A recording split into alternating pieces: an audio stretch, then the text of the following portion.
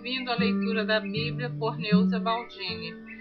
Estarei gravando agora o Salmo 109, cujo título diz assim: Davi pede a Deus o castigo dos ímpios e que o livre das suas aflições. Ó Deus do meu louvor, não te cales, pois a boca do ímpio é a boca fraudulenta. Estão abertos contra mim. Têm falado contra mim com uma língua mentirosa. Eles me cercaram com palavras odiosas e pelejaram contra mim sem causa. Em paga do meu amor, são meus adversários, mas eu faço oração. Deram-me mal pelo bem e ódio pelo meu amor põe acima do meu inimigo um ímpio, e Satanás esteja à sua direita. Quando for julgado, saia condenado, e em pecado se lhe torne a sua oração. Sejam poucos os seus dias, e outro tome o seu ofício. Sejam órfãos os seus filhos e viúva sua mulher.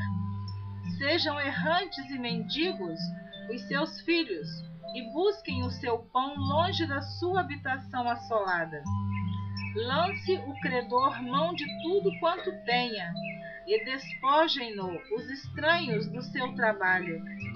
Não haja ninguém que se compadeça dele, nem haja quem favoreça os seus órfãos. Desapareça a sua posteridade e o seu nome seja apagado na seguinte geração. Esteja na memória do Senhor a iniquidade de seus pais, e não se apague o pecado de sua mãe. Antes estejam sempre perante o Senhor, para que faça desaparecer a sua memória da terra.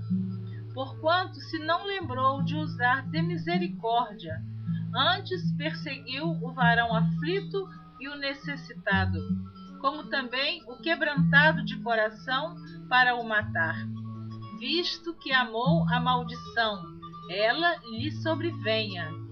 E pois que não desejou a bênção, ela se afaste dele. Assim se vestiu de maldição, tal como de uma veste. Assim penetre ele nas suas entranhas como água e em seus ossos como azeite. Seja para ele como a veste que o cobre e como cinto que o cinja sempre. Seja este da parte do Senhor o galardão dos meus, dos meus contrários e dos que falam mal da minha alma. Mas tu, ó Jeová Senhor, sê comigo por amor do teu nome, porque a tua misericórdia é boa, livra-me, porque estou aflito e necessitado e dentro de mim está aflito meu coração. Eis que me vou como a sombra que declina, sou sacudido como o gafanhoto. De jejuar, estão enfraquecidos os meus joelhos, e a minha carne emagrece. E ainda lhes sirvo de opróbrio, quando me contemplam, movem a cabeça. Ajuda-me, Senhor Deus meu, Salva-me segundo a tua misericórdia, para que saibam que nisto está a tua mão e que tu, Senhor, o fizeste. Amaldiçoem eles, mas abençoa tu. Levantem-se, mas fiquem confundidos, e alegre-se o teu servo. Vistam-se os meus adversários de vergonha, e cubra-os a sua própria confusão como uma capa Louvarei grandemente ao Senhor com a minha boca, louvá-lo-ei entre a multidão. Pois se porá à direita do pobre para o livrar dos que condenam a sua alma. O reino, o sacerdócio e a vitória do Messias. Salmo de Davi, número 110. Disse-me o Senhor ao meu Senhor: Assenta-te à minha mão direita, até que ponha os teus inimigos por escabelo dos teus pés. O Senhor enviará o cetro da tua fortaleza desde Sião, dizendo: Domina no meio dos teus inimigos. o teu povo se apresentará voluntariamente no dia do teu poder, com santos ornamentos, como vindo do próprio seio da alva, será o orvalho da tua mocidade. Jurou o Senhor e não se arrependerá. Tu és um sacerdote eterno, segundo a ordem de Melquisedeque. O Senhor, à tua direita, ferirá os reis no dia da sua ira. Julgará entre as nações, enchê-las-á de cadáveres, ferirá os cabeças de grandes terras. Pelo caminho descender, vou ler novamente, pelo caminho descender, e tá difícil essa palavra, hein? pelo caminho descedentar-se-á no ribeiro e prosseguirá de cabeça erguida. Sabe por quê? Você que está ouvindo essa palavra, são duas horas da madrugada. O sono já está batendo, mas eu vou continuar gravando. Eu espero que esses pequenos inconvenientes não venham tirar o seu ânimo, o seu desejo de continuar ouvindo a leitura por Neuza Baldini. Ouça agora o Salmo 111. Deus é louvado por amor das suas obras maravilhosas. Louvai ao Senhor.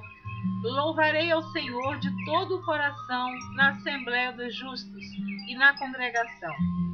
Grandes são as obras do Senhor, procuradas por todos os que nelas tomam prazer. Glória e majestade há em sua obra, e a sua justiça permanece para sempre. Fez lembradas as suas maravilhas Piedoso e misericordioso é o Senhor. Deu mantimento aos que o temem. Lembrar-se-á sempre do seu conserto. Mostrou ao seu povo o poder das suas obras, dando-lhe a herança das nações. As obras das suas mãos são verdade e juízo. Fiéis todos os seus mandamentos. Permanecem firmes para todos sempre são feitos em verdade e retidão. Redenção enviou ao seu povo, ordenou o seu conserto para sempre. Santo e tremendo é o seu nome. O temor do Senhor é o princípio da sabedoria. Bom entendimento tem todos que lhe obedecem. O seu louvor permanece para sempre. Amém. Eu sempre falo em alguma gravação, uma ou outra, eu estou sempre me justificando e peço realmente desculpas, porque às vezes na leitura da Bíblia, a Bíblia tem umas palavras difíceis de serem lidas, tem nomes que temos até dúvida como pronunciar. Mas eu eu não tenho assim nenhuma preocupação em que alguém venha criticar porque esse trabalho eu estou fazendo por amor, por dedicação, por amar a palavra de Deus, por desejar colocar na internet a leitura da Bíblia. Eu gostaria que fosse uma leitura perfeita, sem erros, até porque eu sou bastante exigente comigo mesma. Mas esse trabalho é feito pela madrugada, depois de um dia exaustivo de trabalho. Eu ainda trabalho, eu tenho muitos compromissos na igreja, eu sou secretária, é, organizo todo o fichário da igreja, então eu tenho um dia muito ocupado e só me resta a madrugada com Cristo. E eu me sinto feliz por estar realizando esse trabalho. E às vezes eu até quero reler um outro capítulo, mas você há de convir que a leitura da Bíblia são 31.105 versículos eu vou gravando. À medida que Deus vai me abençoando, eu vou gravando. E se você desejar ouvir Neuza Baldini, continue ouvindo a próxima gravação. Deus te abençoe abundantemente.